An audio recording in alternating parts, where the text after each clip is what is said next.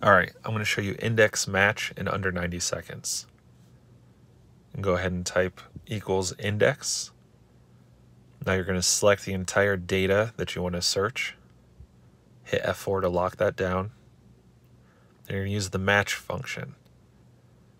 And with this, you're going to choose your lookup value. And we're going to lock that down as well. Now we're going to select the column that we're going to search that value for. We can lock that down with F4 as well. Zero for an exact match. Then we're going to do another match function. And now we're going to look at the row items. So you're going to hit your stat there for passing yards and select the row up top and lock the row down as well. And again, zero for an exact match. And boom, there you go. Now you just copy paste the function down.